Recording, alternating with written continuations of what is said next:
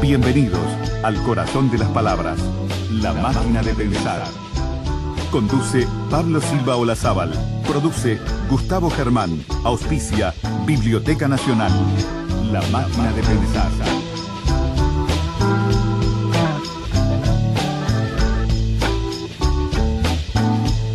Amigos, bienvenidos a Radio Uruguay, bienvenidos a la máquina de pensar. ¿Cómo están? Espero que anden bien porque hoy tenemos un programa eh, muy especial. Estamos llamando a Buenos Aires, desde el otro lado de la línea está la escritora Silvia Hoppenheim para hablar de eh, Manuel Carrer. Silvia, ¿estás ahí? Sí, aquí estoy, del otro lado, pero muy cerca. Eh, Silvia tuvo la, bueno, en esta semana hemos hablado también a Perú, este, con otro periodista, Diego Salazar, que lo entrevistó dos veces a Manuel Carrer, y en el caso de Silvia lo entrevistaste, y no solamente eso, sino que tuviste un coloquio cuando él vino el año pasado, en noviembre creo, en el 2015, a Buenos Aires. Este, Que ahora lo pueden ver todos. Ah, sí, me pasaste, me es cierto. Y Sí, eso- porque lo- está, ahora lo, lo subió OSDE a- al aire, digamos, a, a la web, así que lo pueden ver a Carrer discurriendo durante dos horas, que es muy interesante. y con subtítulos. Eh, lo vamos a linkear nosotros al blog de la máquina de pensar, que aparte de subir los audios de esta semana, este, vamos a, a poner ahí un- una, una- Genial. un enlace especial. Eh, lo primero que te quiero preguntar, Silvia, este, no es de la escritura, sino eh, qué te pareció Emanuel Carrer, cómo, cómo lo viste, este, porque por un lado en su escritura, en sus novelas a veces pone este, partes muy escabrosas y sorprendentes de su personalidad. Por ejemplo, voy a poner un ejemplo, en, el, Mm. en el adversario que cuenta aquella historia, bueno, de Jean-Claude Roman, aquel múltiple asesino, este, luego en otro libro que ahora es la novela rusa, eh, dice que le regala a un amante de Carrer, Emmanuel Carrer le regala a un amante, el mismo anillo que Jean-Claude Roman le regaló a su amante cuando le iba a asesinar, ¿no? Eso es muy divertido. Sí, pero dice cosas así y uno le bueno, cree, eh, uno le cree, justamente ¿no? en ese coloquio, esa anécdota que vos estás Sí. contando, de que el propio Carrer le regaló a su novia el anillo que el asesino le había regalado a su mujer antes de matarla, yo le pregunté, primero le pedí permiso frente al público para ver si podía contar, eh, digamos, eh, esa anécdota personal. Y él mismo me dijo eh, que de eso se trata su escritura, digamos, de, de poner en juego o en jaque eh, lo que de su vida se cruza con lo que le interesa de la vida de los demás. ¿no? Eh, que para él no, digamos, no es un pudor, es una coincidencia que se convierte en algo relatable, digamos, ¿no? Sí, sí, sí, sí, Eh, sí. Por eso eh, su narrador actual, viste que él tiene como dos narradores Sí. a lo largo de su carrera literaria, ¿no? Sí. El, el primero hace 15 años, las novelas más clásicas, y a- desde hace 15 años que él escribe en esa novedosa primera persona donde se involucra con lo que cuenta. Exacto, que es a partir del adversario. Él dice que cuando pone el yo, por primera vez escribió la palabra yo y se trataba de él, no del narrador, sino, digamos, el autor, el propio Carrer, sintió un poco de miedo, pero después sintió una liberación y, eh, a partir de ahí no, todos los No lo suelta más. no lo soltó más, no lo soltó más. Una Sí, pregunta. además se puede jugar con, con que los franceses que tanto pregonaron la muerte del autor, ¿no? En, Ajá. hace unas décadas, eh, eh, con Carrer eh, renació, pero se trata de otro autor. Este es el autor real. Es el autor real que aparte él dice que no es protagonista de la historia que va contando, que son historias reales, sí, digo que ocurrieron, sino que es una especie de testigo que está en primera en primer plano. Y también creo que te dice o dice en un momento de que eh, lo que él va eh, contando de sí mismo es el impacto que le genera a él la historia. Es como si fuera un backstage de lo que está escribiendo. Sí, y, pero lo interesante, porque algunos, digamos, quizás lo malinterpretan esta primera persona tan fuerte que utiliza para contar eh, como una especie de ficción del yo o o Autoficción. autoficción, que está muy de moda también en, Francia. Y él justamente trata de diferencia- diferenciarse mucho de eso, porque él no, su yo es atravesado por la vida de los demás. No es que él viene a contar su vida, sino que viene a contar el impacto en la primera persona de sí mismo de lo que les pas- le pasa a los otros, como la otra novela importantísima de Carrer que es de vidas ajenas, ¿no? Claro, de vidas, de vidas ajenas. Pero, pero a mí lo, lo, lo, que me llama la atención, y de ahí te pregunto a vos, Silvia, ¿qué opinás como escritora, aparte periodista? Él te dice eh, que eh, autoficción abunda en Francia, pero no es mi caso, no es lo que hago yo. Obviamente la, autoficción abunda, yo diría, en casi todo Occidente desde el 2000 para acá, ¿no? Este, Y que tiene que ver con algo que se ha mencionado también muchas veces, que es la crisis de la ficción y el tema de, por ejemplo, emergentes de, por ejemplo, la novela histórica o eh, lo autobiográfico o eh, la novela de no ficción. Todo esto para hablar de que ya el cuento aquel que, que, hacen, que hacemos los escritores cuando generamos una novela este, ficticia de la imaginación, como que está, como que el público quiere más o quiere algo más. En fin, no sé. Pero vos qué pensás de esa eh, frase de él de que lo mío no es autoficción? Yo creo que no es autoficción desde el punto de vista estricto porque cuando leemos cualquiera de estos libros, salvo quizás eh, el de la familia rusa, digamos, que tiene que ver con su historia, em, no es que vamos a, encontrarnos con una historia personal de Carrer. Sin embargo, si leemos todos los últimos libros, desde Limonov hasta De vidas ajenas, eh, y e incluso el nuevo, ¿no? El reino. El reino, sí. Es como si él estuviera eh, fragmentado, su yo estuviera fragmentado en todo lo que cuenta. Para, porque es como si uno, es interesante de todas maneras lo que él hace, porque es como si la primera persona del narrador, que en realidad no es del narrador, es del autor. Es del autor, sí, exacto. Es del cuerpo del autor. porque viste que en literatura siempre se habla de la figura del autor, la figura del narrador como algo simbólico eh, que viene a ser un, casi un lugar vacante. En este caso es autor con cuerpo eh, y él busca justamente contar de sí eh, esos entrecruzamientos con lo real. Fíjate qué interesante en De vidas ajenas. El comienzo es feroz, porque él está en un hotel con su novio o su mujer, no me acuerdo, tratando como de, de ver si se reconcilia. En ese mismo momento ocurre un accidente y la pareja de al lado, en ese accidente que ocurre, pierde a un hijo. Y termina el capítulo diciendo que esa misma noche ellos en su cuarto de hotel dormían en camas separadas por un motivo distinto al que por la gran pena dormían en camas separadas los padres del, chico que, acababa de morir. Como que él encontró, ¿en qué momento yo dormí en una cama separada? Ese es el yo de él. Y en realidad lo ilumina la escena donde esta otra historia, que es la que él nos va a contar, la tragedia del otro, ellos también dormían en camas separadas por un motivo terriblemente distinto. por eso te digo que eh, va deslizando pedazos de su vida, pero siempre en intersección con la pena, el dolor o... O lo que está narrando, sí, sí. Eh, o lo que sea eh, del otro. Sí, hay una, por ejemplo, a mí me encantó el libro que es la biografía de Philip K. Dick, que es una biografía. Cuando, cuando, uno escribe la biografía... Bueno, eso ya es, otro, eso ya es una biografía, biografía, ¿no? Sí, no, pero él mete la, la, la, primera persona, la mete y dice, por, por ejemplo, en un momento dice que Philip K. Dick, que, que tenía tendencias paranoicas, eh, lo roban en la casa. Y, y le ocurre lo que ocurre a cualquier persona de nosotros, digamos, si te roban en tu casa, que uno se siente muy este, eh, violentado, ¿no? Por, decirlo menos, ¿no? Y entonces él dice, mientras yo estaba escribiendo esta parte de esta biografía, a nosotros también, a mí me robaron, ¿no? La casa, ¿no? Claro. Y hablando con el policía, porque uno habla con la policía, bueno, rompieron acá, no sé qué, no sé cuánto, eh, el policía me dijo algo que que me parece genial, dice, ¿qué es esto?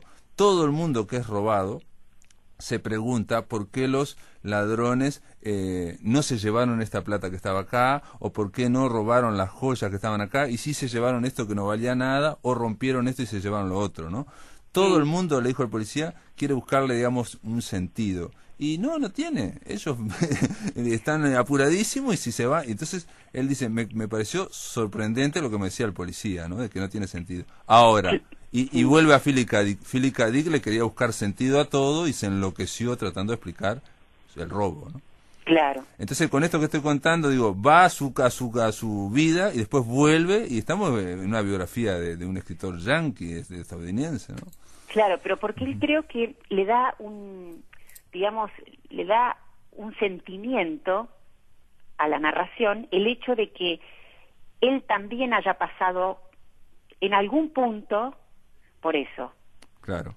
Aunque el motivo, el motivo sea completamente diferente.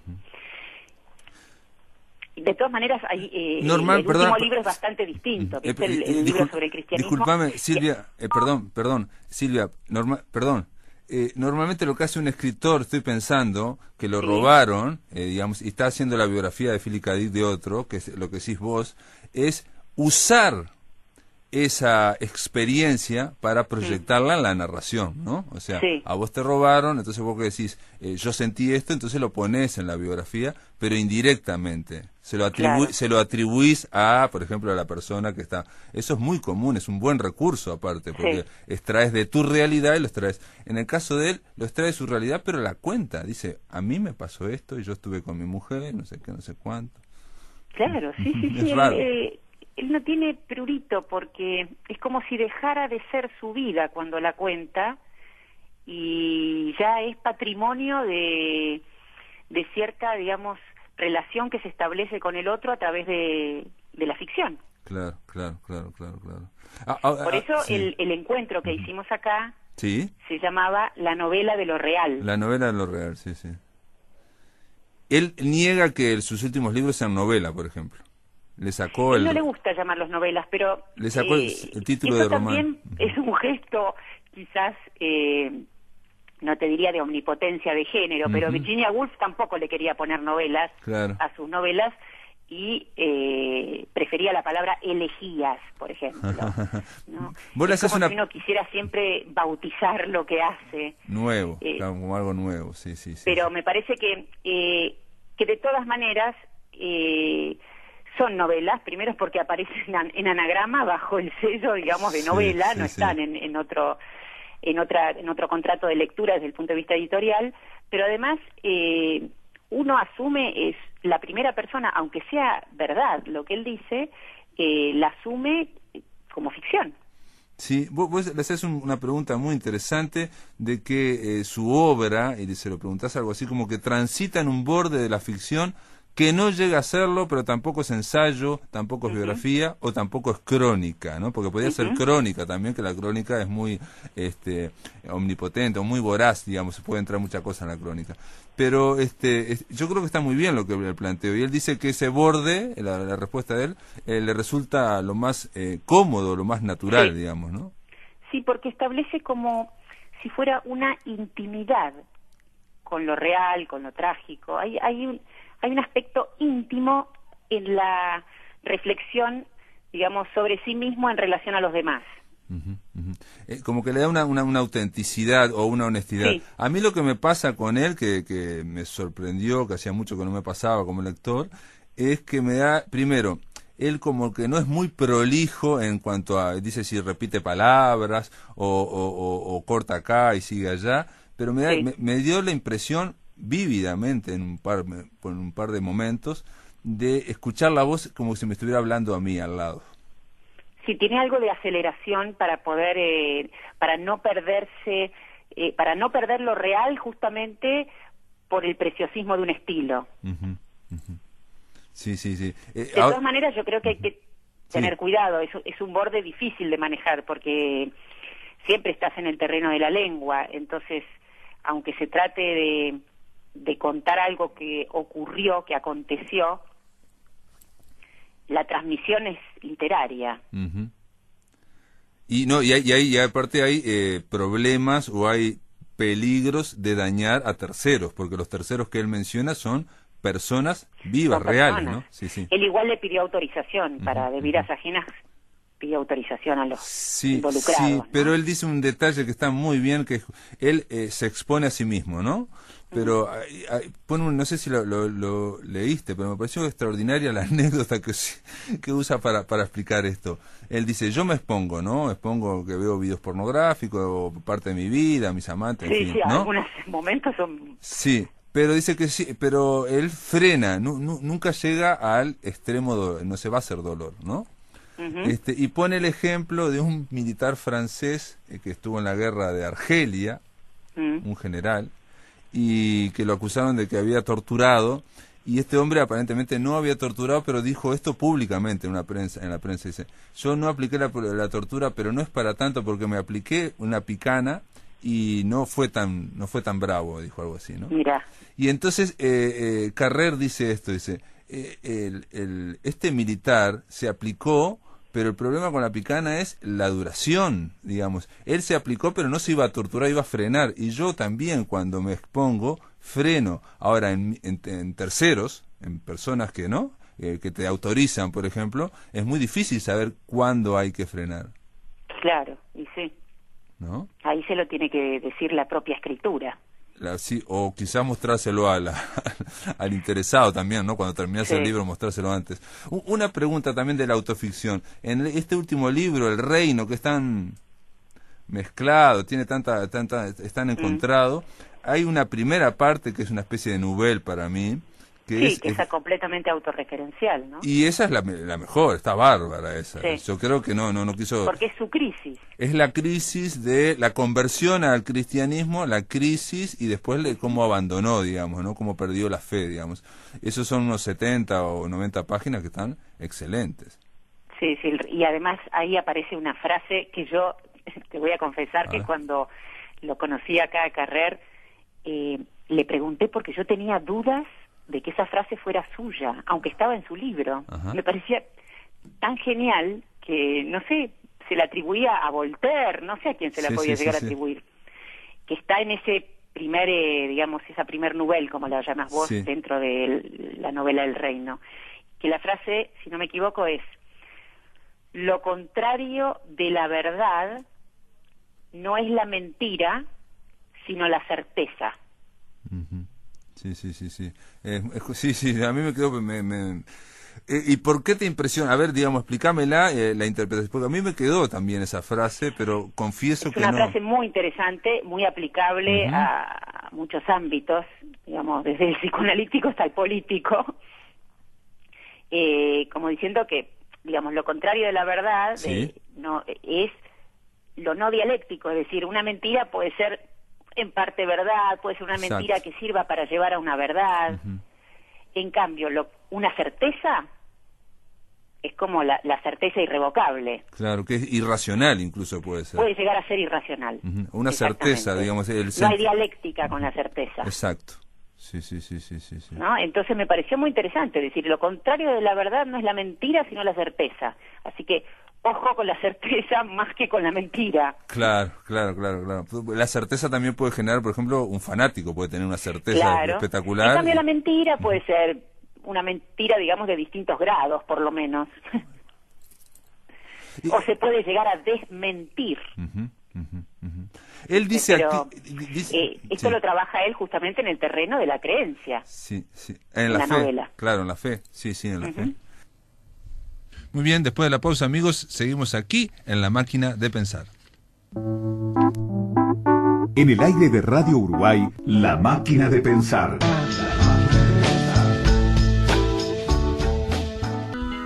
Continuamos amigos aquí en la máquina de pensar, estamos conversando vía telefónica con la escritora Silvia Hoppenheim. Él también dice que él este, no es que ofrezca al revés de, por ejemplo, estoy pensando a Sangre Fría, a Truman Capote, que te mostraba todos los hechos y el, y el autor se invisibilizaba, digamos, en el no, ¿no? Este, acá él se pone como autor, aparece en medio, digamos, del lector y lo que está contando y, queda claro que es, la, es su versión de los hechos, ¿no? Eso queda siempre claro, ¿no? No hay esa idea de, de decir la verdad, esto, esto fue lo que pasó, ¿no? Exactamente. ¿no? E, entonces, es una lectura subjetiva desde el vamos. Y muy honesta, o, de, o de, autenticidad. él dice que él eh, trata de ser sincero. Mm. Que hay un detalle también, que hace, ahora leí un libro de, de las clases de Eve Ward, y Eve Ward dice en un momento de una clase una frasecita que me sorprendió y me gustó. Me dice, miren que en esto de la literatura siempre se miente un poco. Está bárbaro, ¿no?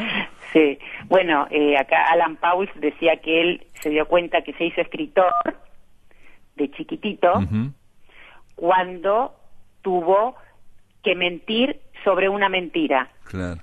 Es decir, cuando mintió y le dijeron, pero ¿es verdad que pasó esto o es mentira? Y entonces en ese momento él tuvo que mentir sobre la mentira para agrandarla un poco más y que fuera creíble. Y ahí él él rastrea ese punto como el origen de su escritura. Claro, claro, claro. pero yo lo pienso incluso de esta charla que estamos teniendo, Silvia, porque vos trabajás en la escritura, sos periodista, tenés talleres y, y, y, hablás constantemente y pensás de literatura, aparte de hacer literatura. y, y, este y esa frase de Ward para mí tiene que ver porque eh, es muy difícil decir siempre la verdad. Miren que en literatura, hablando de literatura, siempre se miente un poco. Eh, me pareció muy buena, muy, muy buena. Muy buena. Muy buena. En todo caso se puede atisbar una verdad, pero sí en, no la verdad, una por ahí. Sí, y aparte, digamos, es muy difícil comunicar cosas que son a veces incomunicables cuando hablamos de literatura, ¿no? Es, ¿no? es difícil, me parece, hablar de los procesos o esto que estamos hablando, hasta qué punto. Manuel Carrer tiene su obra y no sé si él después es tan consciente o si no fue consciente después. Digo, no lo sé, no lo sé, digo, ¿no? este, porque el autor lo que hace, él lo dice, es lo que le interesa, el tema que le interesa, que él se involucra personalmente, y es lo lógico, ¿no? O sea, es lo que te involucra emocionalmente, es lo que hace que sea tu tema, ¿no? Porque asesinatos en Francia debe haber habido muchos. Claro. ¿No? Y, tomó el Sí, de, todas maneras hay algo que, que se ve que lo, lo lo descubrió y se sintió muy cómodo. ¿No? Él abrió esta puerta de la primera persona para narrar vidas de otros eh, en conjunción con la propia y, se, se, siente muy cómodo en esa primera persona. Entonces eh, encontró, digamos, su, su lugar de, por lo menos en este en estos últimos 15 años, un nuevo lugar para para narrar lo que de la vida le impacta. Y aparte la vida, digamos, la realidad siempre es, me decía Kafka, es mucho mayor que los sueños, por ejemplo, y que todo, ¿no? La realidad supera todo, ¿no? Supera la ficción a los sueños. Él dice... incluso la realidad es inenarrable. Exacto, y la realidad no se puede, no se puede, solo podemos contar fragmentos o, algo que nos impresionó. Pero a mí algo que me impresionó del libro, El adversario, después está la película con Daniel Hotel, que es genial, a mí me gustó mucho también es algo que es eh, las cosas que ocurren. Él miente el adversario durante, va, Jean-Claude Roman durante 18, 19 años, y cuando uno cree que va a caer por, no sé, por 153 motivos, no, que eran lógicos y eran, eh, la, evidencia de los hechos lo iba a hacer caer, no, cae por otra cosa que no tiene casi nada que ver, que es un problema con un director, no sé, no tiene nada que ver. Y, y ahí la esposa dice, ah, entonces me mentiste con esto, bueno entonces, esta, mira la, frase que dice Carrer sobre esta novela. Dice, eh, todo esto pensaba mientras trabajaba en El adversario. Si hubiese intentado escribir una ficción, el esfuerzo hubiera sido inmenso porque la historia del adversario, ¿no? la de Jean-Claude Roman, carece de verosimilitud. Es difícil mm. creer que la mentira de Jean-Claude durara tantos años sin que nadie se diera cuenta, pero fue así. En la ficción tenés una obligación con la verosimilitud, que no la tenés en la no ficción. Claro, porque en, la ficción tenés que, es una, la ficción es un artificio, en cambio la no ficción te viene servida. Es de la realidad. En, la no ficción vos decís, esto pasó en la realidad. y es así, y no, no tengo la no me lo crean. Claro, exacto. En cambio, la verosimilitud es la idea que tenemos nosotros de la realidad, ¿no? O sea, lo verosímil es lo que se ajusta a la idea que tenemos más o menos de la realidad. Esto pasó, esto es lógico que hubiera pasado, claro. Si es inverosímil. Carrer lo que plantea como autor nuevo eh, en Francia es la pregunta por el estilo. Ah, ¿Qué, es es el estilo eh, a la hora de contar algo que viene de lo real? Perfecto, claro, claro, claro. Este, son problemas difíciles. Hay muchos que están, digamos, incluso que lo discuten a Carrer y discuten esa primera persona como diciendo que, que saque esa primera persona de la ficción, esa primera persona no pertenece al mundo de la ficción. Bueno, a mí alguien me dijo, digamos, este, bueno, comentó que, que para él eh, no, esto no eran novelas, esto era otra cosa que era de no ficción, porque se basaba en la realidad. Y otra cosa que dice Carrer, bueno, un poco para ir terminando esta charla, es que él no tiene imaginación. O que, tiene, que tiene otras virtudes, pero imaginación no. Sí, pero justamente me acuerdo que en esa conversación eh, la imaginación eh, estaba eh, representada, por decirlo de algún modo, por un, muy buen nivel asociativo, como si asociar una cosa con otra, asociar un pedazo de vida del otro con una anécdota personal, también fuera un ejercicio imaginativo. Claro, claro, claro, claro, sí, sí. De imaginación personal, digamos, es algo que te afecta y la, la emoción y, digamos, la fantasía o la imaginación este, realmente no es un tema que no te lo puedes sacar de la cabeza y ahí la, la cabeza del escritor empieza a trabajar también. Exactamente, claro. bueno, es el, digamos, el, el, mundo simbólico fluye, ¿no? Bueno, si te pones lo simbólico es brutal, pero la idea de esa cuestión obsesiva de, de darle vueltas a, una, un asunto, ahí ya de alguna forma estás trabajando con la imaginación. Muy bien. Bueno, Musil decía, sí, a ver. digamos, para definir estilo, que es interesante, Musil decía que el estilo es la exacta articulación de una idea. Mira, exacto. Sí, sí, sí, sí, Como si de golpe una frase te revelara por su estilo una idea. Claro, claro, claro. que si vos lo decís así nomás, quizás no no impacta, sino que la gente se pone a discutir esas claro, En cambio, el estilo te, te, impregna de esa idea. Sí, sí, bueno, hay, hay otra, ahora no me acuerdo quién la dijo, pero hablando de la poesía, decía que un poema es, es, eh, es el, eh, el, tropezón, digamos, entre una idea o, un sentimiento y mm. su expresión y su expresión. Ah, Entonces cuando, algo, parecido. Cuando, cuando tropieza con la expresión y es así, el poema es así. Silvia Hoppenheim, gracias por estar acá en la máquina de pensar, fue fabulosa esta charla y gracias por, por, por estar aquí un rato en Montevideo. Bueno, me encanta la máquina que tienen por allá. Te mando un abrazo, ¿eh? Gracias, sí. Chau, chau. Chau, chau. Amigos, eh, vamos a hablar ahora de eh, Pontis, Práctica de Traducción, una revista que está eh, nueva, que va a lanzarse en breve, el 31 de marzo. ¿Estás ahí, Leticia Lorier? Hola, sí, buenas noches. Muchas gracias por la invitación. ¿Cómo andás? Bien, acá en los últimos ajustes para el lanzamiento de nuestra revista. Pontis, Práctica de Traducción. Eh, prácticas, sí, prácticas de, traducción. Eh, ganó el Fondo Concursable para la Cultura, es una revista digital.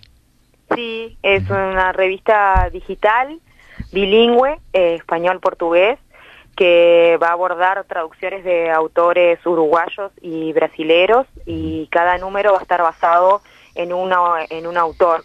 Se trata de una publicación que es bimensual. Ajá. por ejemplo, el primer autor, ¿no podemos adelantar de, que, de cuál va a ser? Sí, es una brasilera, una carioca, Julia López Jaumeida, eh, que escribió sus textos a principios del 1900. ¿Y del uruguayo, digamos?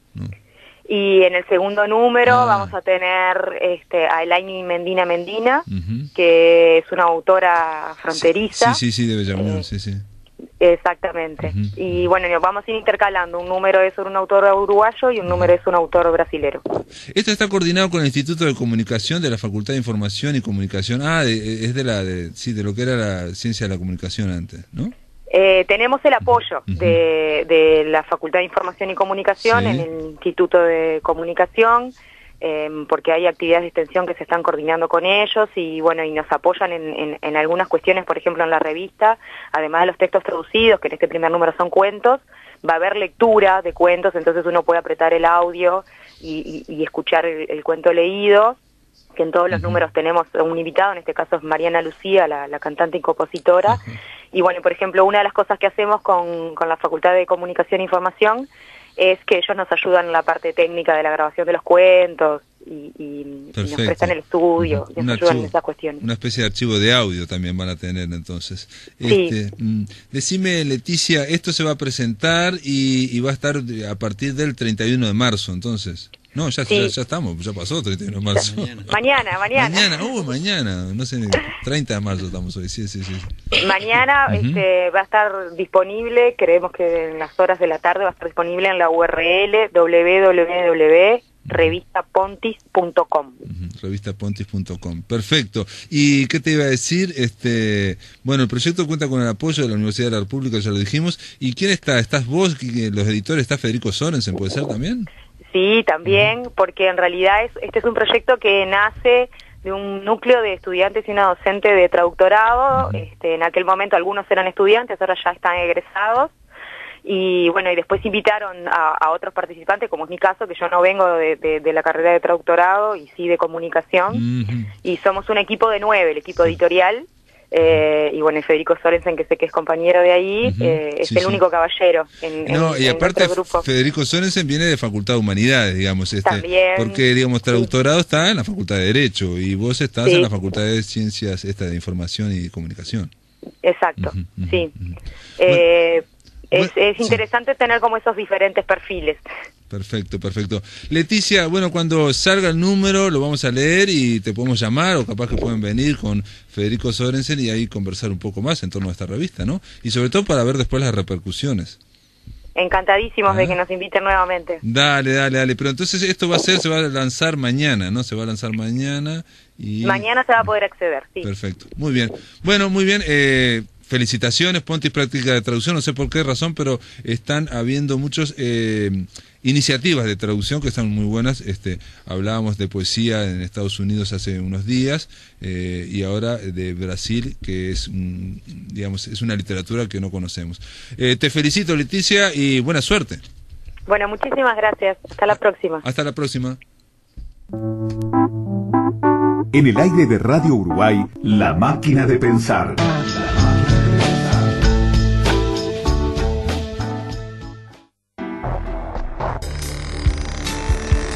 Una ventana se abre en la máquina de pensar. La ventana indiscreta. La poesía escrita con la luz y el sonido, clásicos del séptimo arte y los mejores directores de cine según Roberto Aprato. Bienvenidos a la primera fila de La ventana indiscreta. Muy bien, la ventana indiscreta, Roberto Aprato, ¿cómo andás? Muy bien, ¿y vos? Cine de Roberto Prato, el Dream Team, ¿qué trae para hoy? Y bueno, viste que cuando uno arma el Dream Team siempre vienen las cosas. Primero viene lo que está más cerca de la puerta, ¿no? O sea, lo, lo, indiscutible. Yo empecé con Jerry Lewis porque para mí es indiscutible. Pero es una sorpresa Jerry Lewis. No, sí, pero... Nadie lo, tiene un poco, ¿no? Pero está bien, sí, sí. Es un cineasta absolutamente magistral. Y Hitchcock, bueno, ¿quién es como osa hablar en contra. O sea, eh, Hitchcock es impresionante. Yo en estos tiempos que me he dedicado mucho, escribí sobre él, di clases sobre él, pero además leí mucho sobre él y es increíble. Hay muchos libros sobre él. Hay muchos libros. No, suele ocurrir. Por ejemplo, yo hablaba sobre Luis Buñuel y no hay muchos libros sobre Buñuel, por ejemplo. No, pero bueno, eh, hay igual, hay, algo hay, por, sobre todo porque había, si hay franceses en la vuelta. Bueno, seguramente en Francia sí, eh, que yo no conozco libros sobre Buñuel que, sean en francés, seguramente, porque él eh, contribuyó a la cinematografía francesa. Claro, y Hitchcock está, por un lado, instalado en Inglaterra, y después en Estados Unidos hay algunas idas y venidas por Inglaterra en el medio de la carrera, pero digo, tiene toda una, una marca larguísima de, de películas que afecta, con retroactivamente, porque no enseguida, e hicieron leer toda su obra como un conjunto, que es una de esas cosas que muy poca gente tiene, ¿no? Que tiene toda la obra, porque con Buñuel vos podés tener eso, pero sabiendo que hay, hay agujeros ahí, hay, hay, huecos entre el pre-rondaluz y... Sí, hay, saltos, hay saltos, hay saltos. y cosas diferentes. 15 años sin, sin que hay varios Buñueles pero no hay varios Hitchcock, es decir, es como si fuera uno solo. se habló siempre del Hitchcock británico, previo, después el salto a Estados Unidos y después, bueno, claro, fue madurando, pero fue la misma carrera, fue como si fuera una, una sola línea en que fue incorporando cosas a partir de, de 1921, 22. Alguien que estuvo muy vinculado al cine como espectáculo y que solamente los franceses descubrieron que era un autor, por ejemplo. Claro, cuando. En Estados Unidos lo consideraban como un grande, un artesano. Era un artesano, un tipo de, menor cuantía. Eh, acá mismo, no te digo, en Uruguay, que es una tierra de espectadores y además eh, el, el, el grueso de lo de Hitchcock llegó en la década del 40, 50 que acá estaba la generación del 45 y no, y no, y no, lo, no, le daban pelota. porque parecía de, entretenimiento ¿no? un tipo frívolo y de, de suspenso entretenimiento la, la, beta como policial. Eh, por supuesto. es una gran confusión porque nunca hizo un policial así de Juduni quién lo hizo no no casi nunca. alguno hizo este aquel, bueno hizo tanta cosa otra cuenta que hizo 60 películas más o menos no entre los dos países. Y Ahora, en los años 40, perdón que te interrumpa, hizo la, Sombra de una Duda, que para mí es la mejor. La Sombra de una Duda es la de las que me gusta más a él también. Sí, para mí es, para mí es la. Sí. Y, aquí tampoco la, destacaron, ¿viste? no. Era como un, entertainer. Eh, claro, porque hubo como una mezcla de que eh, llegaba al público porque ese es eh, el karma del tipo que tiene éxito comercial que no puede ser reconocido como gran cineasta. Por los cultos, sí, sí, por la, Pero los, que, los responsables de su recuperación, como con otros yankees, son los tipos de la Nouvelle Vague. Claro. Es decir, son Godard, Truffaut, sobre todo Truffaut, que fue el que escribió el libro. Este, las conversaciones. Eh, las conversaones con, con él. Con Hitchcock este el cine según Hitchcock. El, sí, sí, el cine según el cine según es muy bueno ese libro. Eh, Chabrol Romer Godard todos escribieron sobre y Rivet también Jacques Rivet todos escribieron sobre Hitchcock en los años 50 y, André Bazin también ¿no? pero André Bazin al principio en contra era el maestro ah, de ellos y estaba en contra estaba en contra de, de la pérdida de tiempo de algunas películas que le parecía que no valían la pena y lentamente empezó a porque le parecía raro un tipo que en realidad no era mm, no era el que escribía los guiones, o sea, él nunca escribió guiones. Sí, sí, o no lo firmaba, ¿no? no, no, no, no. Pero estaba, él estaba en la eh, cocina. Sí, estaba, pero no los escribía. Él habrá escrito uno o dos en algún momento o a medias con alguien, pero... Y tenía la esposa que era durante sí, mucho sí, tiempo. Sí, pero él no. Él no sé. Pero digo, estaba mirando por arriba del hombro. y estaba guiando. Eh, y lo increíble, lo que hace que sea un maestro reconocido mm. primero por los franceses y después después por todos los demás, es que es esa unicidad de la obra que te decía, y porque es como el tipo que eh, es el maestro de la elaboración, de la elaboración de ideas dentro de las películas. O sea, todas las películas son películas muy realistas, que pertenecen, no hay ninguna que sea ni surrealista, ni expresionista, ni, son todas películas que pueden enmarcarse dentro de lo que se llama el cine clásico, con un principio medio fin, Sí, sí, sí, eh, con, la peripecia y que aparte como que todo apunta a la anticipación, están los primeros 15 minutos, todo ese esquema de yankee, de Hollywood, que es así, digamos. Uno ve los primeros 5 minutos y ya está resumida toda la película y hacia dónde va, ¿no? Pero lo, la cuestión es que hay minucias de las, los sentimientos de los personajes, de las relaciones entre uno y otro, las pasiones, eh, el deseo de hacer esto y lo otro, etcétera, etcétera, que para otro puede ser un lugar común y él lo convirtió en una pieza, piezas de orfebrería. Película a película, y el tema también de que se ha escrito mucho sobre el tema de los objetos en, la pantalla, ¿no? De repente eh, giran todas las escenas en torno a un objeto. A un objeto. Y, él lo carga semánticamente de significado, claro. que ahí se genera un suspenso y de repente es un objeto. Pero es que él tenía una cosa que, que no inventó él, yo no sé si no la inventó él, sí o no, digo que no porque no, no, no es ese el mérito. Él decía que en todas las películas había un McGuffin. El McGuffin es un falso motivo central. Entonces, eh, el, espectador es como, como en el fútbol arrastrar las marcas, ¿no? O sea, ir directamente a algo que, bueno, tienen un secreto o se robó una plata de no sé dónde, entonces la atención del espectador va para ahí, pero en realidad es mentira, es decir, es un señuelo. Sí, sí, sí, sí, sí. No hay ninguna clave, ningún secreto, ningún, es una nada. No importa al final, no importa, digamos. Y de repente pega la vuelta para el otro lado. Ese manejo del movimiento de las pasiones eh, y de lo que la gente cree y quiere y entiende y que me engaña, no me engaña, lo que pasa con la sombra de una duda, es malo, es bueno, qué es lo que pasa con, o la sospecha con Cary Grant y John Fontaine. Eh, ¿Quién es este? ¿Es malo? ¿Realmente es malo? ¿Me va a engañar o me va a matar? Eh, o millones de otras, yo que sé, el hombre que sabía demasiado, el tercer tiro, aquella del cadáver que está ahí todo el tiempo, no se sabe quién lo mató. La soga, ¿no? Y la soga, con aquella película que tiene esa De Force, que es usar, no usar cambios de plano. O sea que cada rollo es un plano continuo. Sí, de 10 minutos, cosa que no pasa en ninguna otra película todavía. Este, no, ha pasado, sí. Eh, en el, arca, rusa, le hicieron 90 pero no es lo mismo igual. Y bueno, y hay algunas. No es este sobre la base de un drama. El arca rusa no es un drama. No, no, es cierto, es cierto. Este, pero bueno, eh, no hay nadie que, que, en ningún momento se acercó al cine documental, incluso lo despreciaba absolutamente, decía que para testimoniar la vida, ya está la vida. Sí, sí, sí. El, realismo igual era entre comillas porque el realismo... es totalmente ficcional. Porque una de las cosas que, que dice él, una cosa brillante, es primero los colores que usa. Sí. Y después dice que cuando se hace una película en París, en Londres, hay que ir a lo que salen las postales. O sea, si hay París, Sí, partir del lugar Torre común. O sea, el, el, el Sí. cliché, el lugar común, lo que está más ficcionalizado, más, más, más duro, eso hay que usarlo porque entonces vos estás como viviendo una postal. Claro. O sea, estás entrando en un, en, un, en un nivel que es de ficticio. Sí, sí, sí, sí.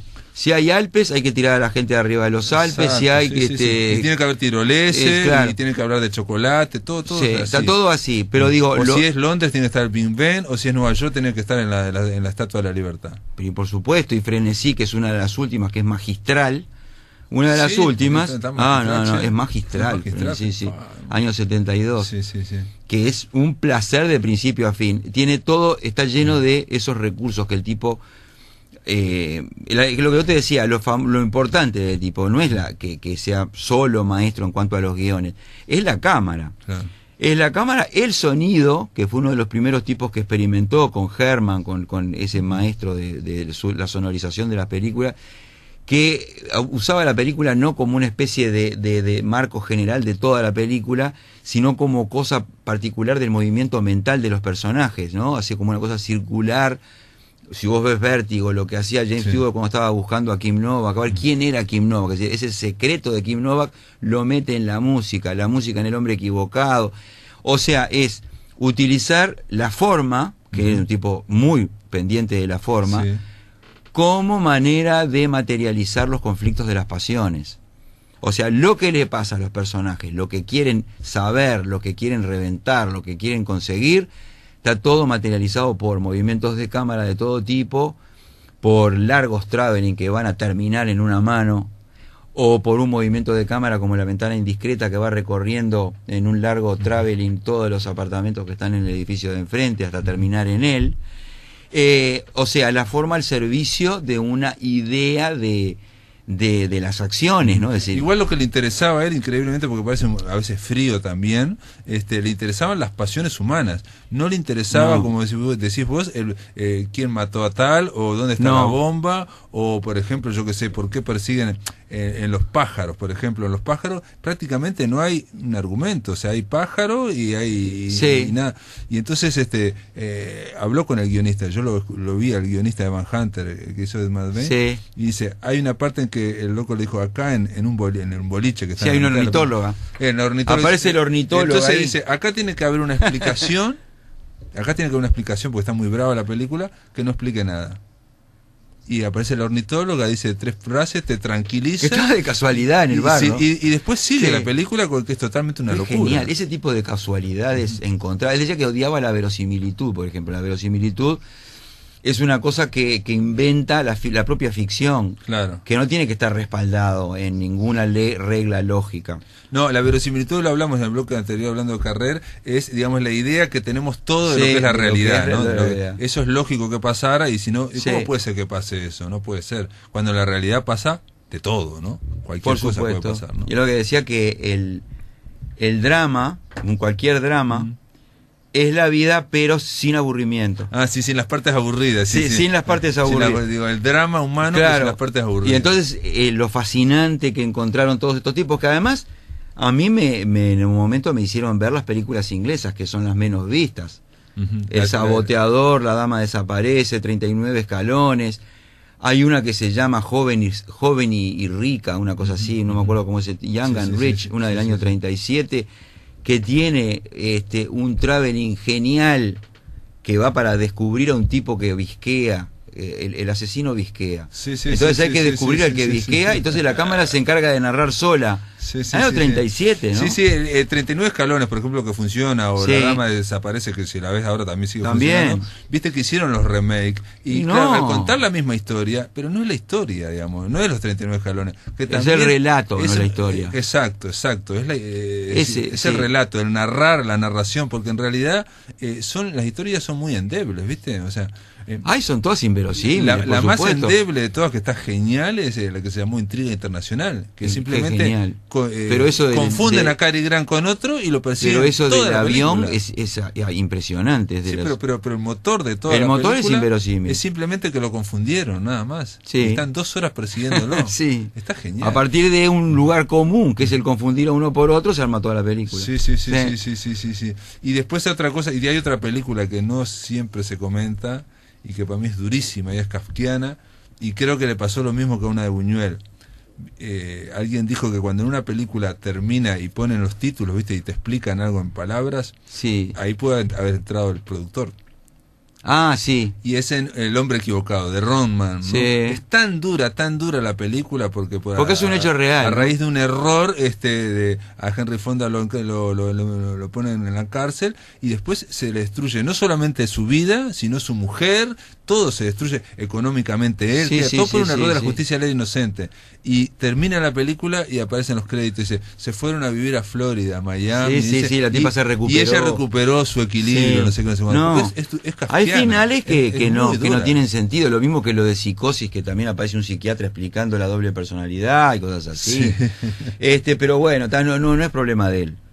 Él ya había hecho la película, él ya estaba bien. Claro, claro, pero digo, pasa esas cosas que cuando agregan algo, Sí. este, esos, hay que estar alerta, pasa con Buñuel también, en otra película que se llamó creo Los Olvidados, en Los Olvidados ponen al final que bueno, eso Hay ocurre, eso ocurre en todos lados del mundo y bueno, por suerte Ah, las, horrible las fuerzas del eso. progreso están Sí. tratando de, de, De encauzar, contra sí, la, la- la sí. juventud, ¿no? Este, Ah. Y que no pasa solo en México, ¿no? Era para eso. No, Eh, bueno, esto es, es una- un pantallazo nada más de... por supuesto.